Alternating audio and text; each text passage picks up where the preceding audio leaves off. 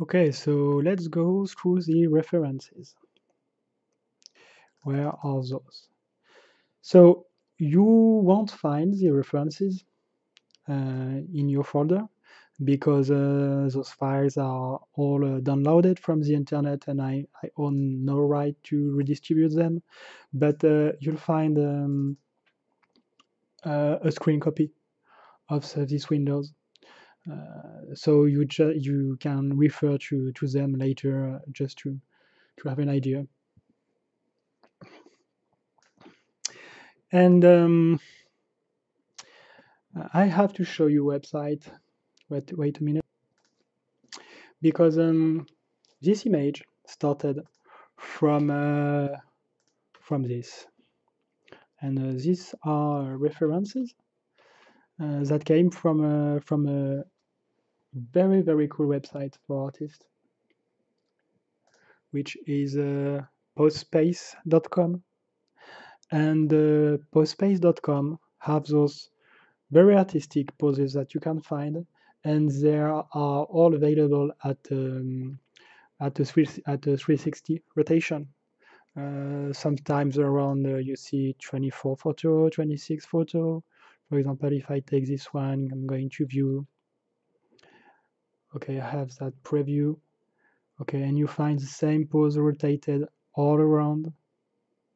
And these are beautiful models and uh, beautiful shots. And there is nice lighting. It's it's it's already kind of uh, very artistic. So to to study anatomy and uh, to you know to make figure study or to to find to find a, a nude pose this is a, a really really great resource and um, I wanted to do at first a figure study in 3D that's a thing I I like to do.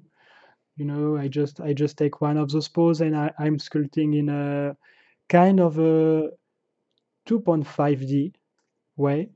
That is, I I'm mainly concerned by when I'm doing that. I'm I'm mainly concerned by the view I'm going to to have from the render, and um, it's kind of nice because because all of the mistakes that you are doing because you are not sculpting in full symmetry and you are sculpting mainly for only one point of view, uh, it it it gave it gave a really really nice uh, artistry feel to to your sculpt, and uh, I feel it it is by the end much more natural than uh, than a sculpting done uh, with full symmetry and, and posed and uh, also it's it's way faster because you are not concerned with with anything else than what you see and uh, to give you an idea, for example, this one is a, figure study that I did this exact way.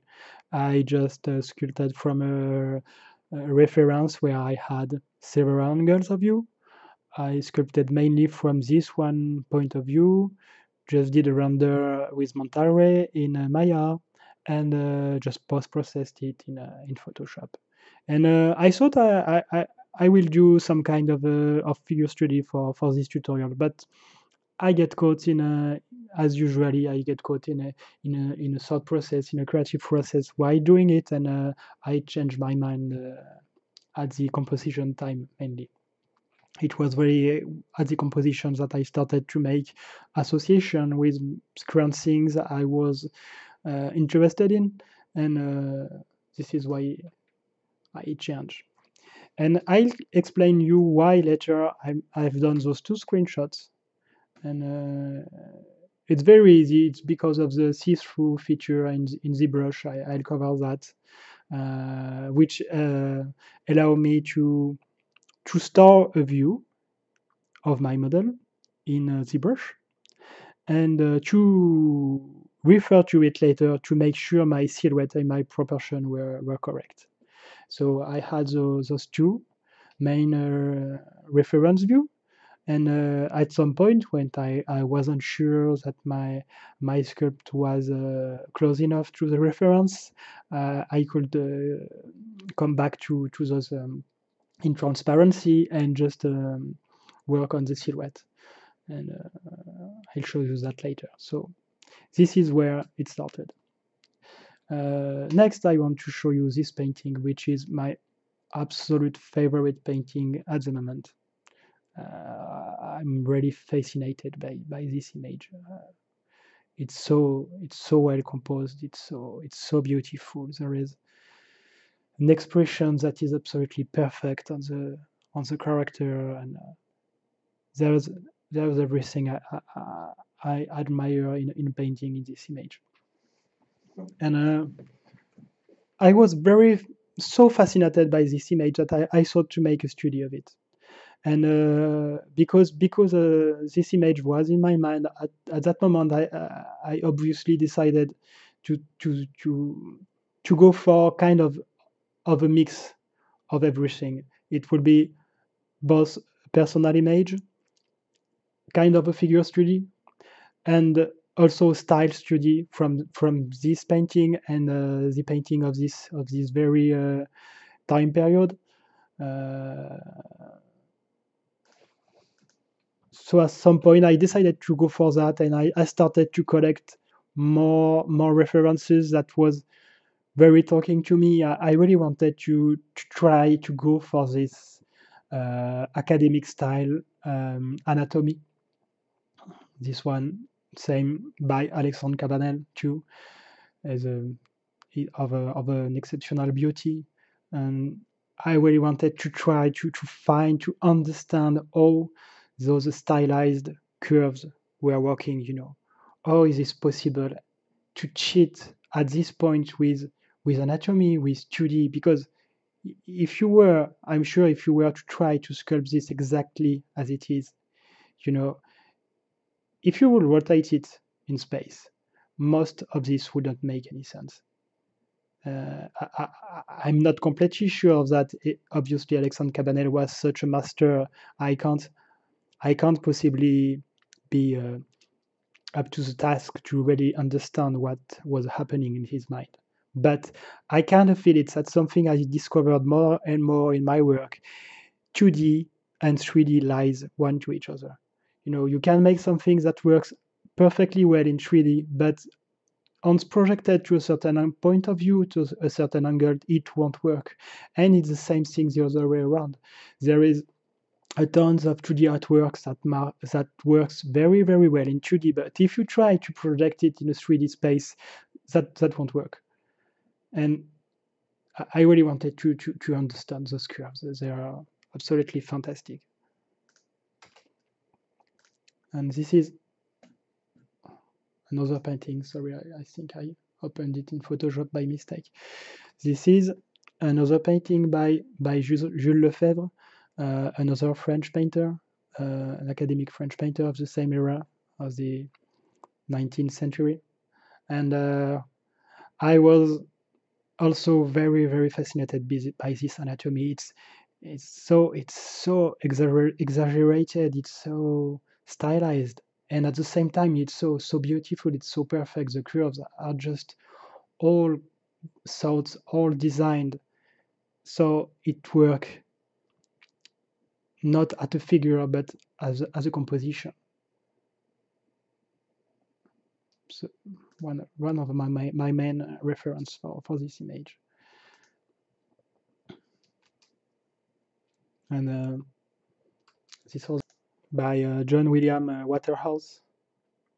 And um, I had it more for, for the mode, for the environment. Uh, to be honest, I didn't look too much at it. I came back to it a few times for more for the wrinkles in the in the toga and the, the overall mood, uh, the, the materials or the materials were rendered.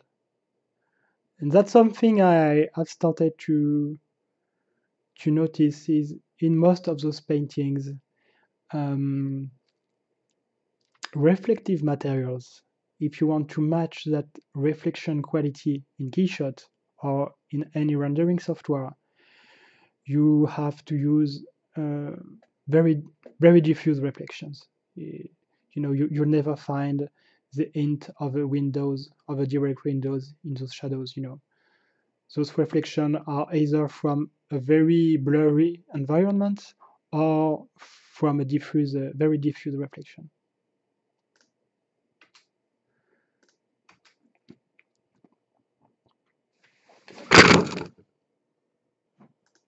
Uh, sorry for the weird noise. So another reference from Guillaume Seignac. So it's not of a very good quality, but uh, here I was more interested in the in the general proportion of the body, uh, and particularly in the implantation of the breast, which is a very high breast. Very very beautiful painting too. Uh, those last two paintings, these are super high resolution paintings that I found. So uh, when I did my research uh, on Google, I, I selected very, very high res images. And what I was interested in was the surface quality because by the end I, I just wanted to push the thing just for the fun push the thing far enough to to add a bit of this uh, of this um, withered canvas quality. You know i wanted to understand how the cracks were working and the, the type of noise that you'll find in this uh, in this kind of images. And uh, I use more this one because what I like in this one is it has both this um, this uh, sur weathered surface uh, quality, but at the same time it's uh, very um, it's very sharp. You know, the the noise doesn't uh, impact too much uh, the, uh, the, the image, and you see it's it's super high res. I don't know, it's maybe like eleven thousand pixel wide so you can really have a good idea of the surface quality.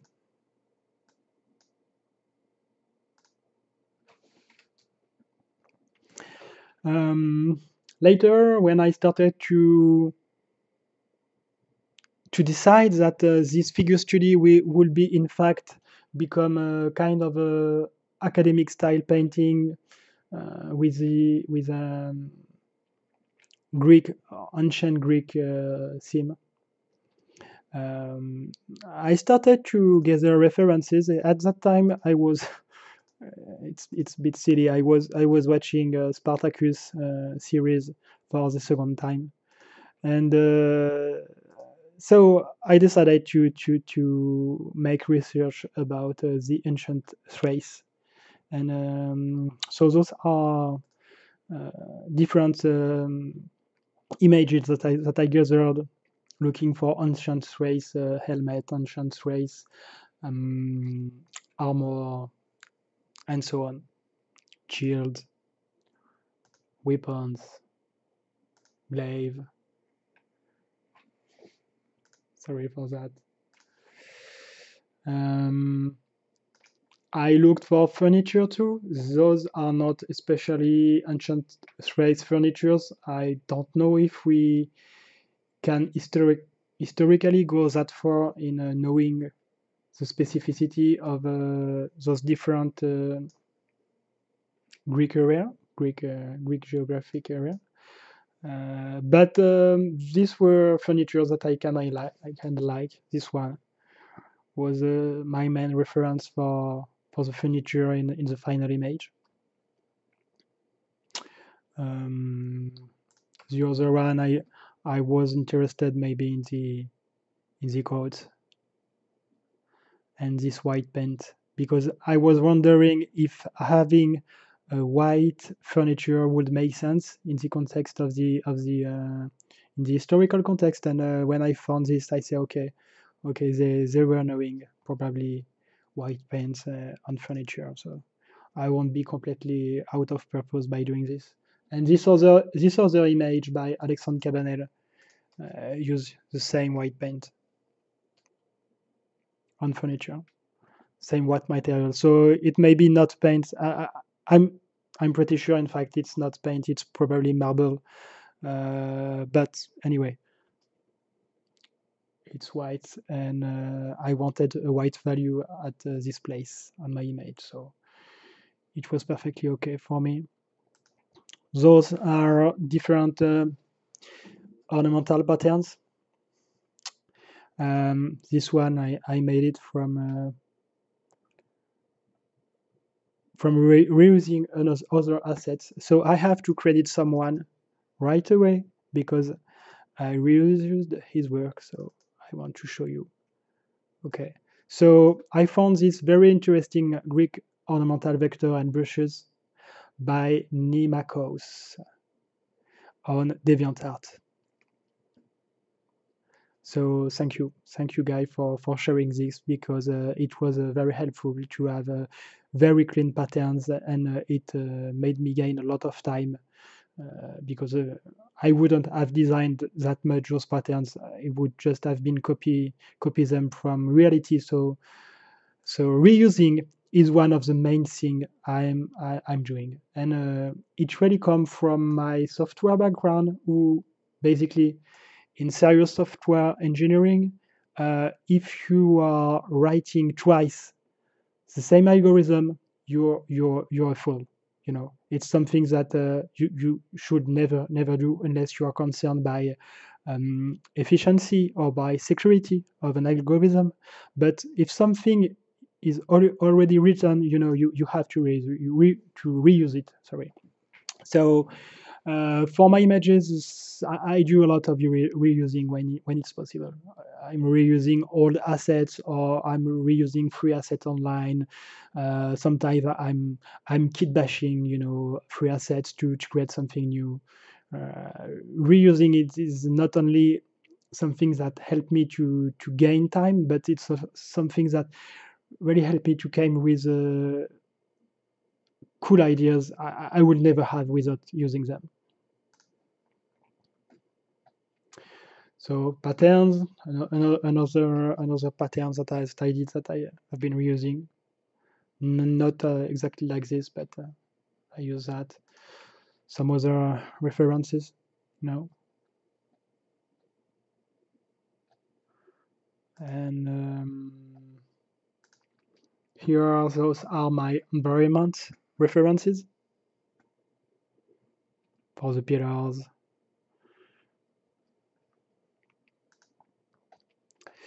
Uh, those are references that I use for, for the sheets, and uh, some of them I use I use them uh, right uh, in the photo bashing phase, just to add details on top uh, of my sculpting. And uh, here I reference for the fur rug, fur rug. Sorry, it's kind of difficult to say for me with my nasty French accent. And later in the in the tutorial, uh, I just decided that the head was a mess and uh, I forgot to, to record the process, so you won't see the, the sculpting process. But uh, I decided first to, I was about to make a study, in fact, so I decided to make the study from this uh, Athena sculpture and uh, those two other reference. And uh, this one is so, so beautiful. I, I, I am almost in love with with this with this sculpture.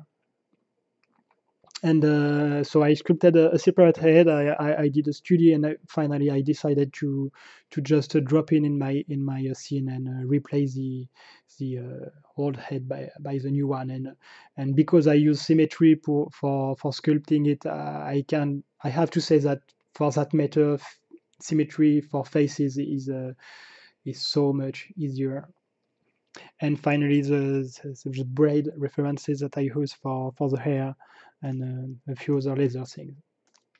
So here are the the, uh, the references and uh, mainly I, I will come back to those those three paintings because well I was referring to those three paintings all the time during uh, different paths of the making of the image and uh, for me, it's it's a great help to have to have a few few references but strong ones, and that really helped me to to build on top of a great artist work, and um, someone can see it as cheating or as plagiarism.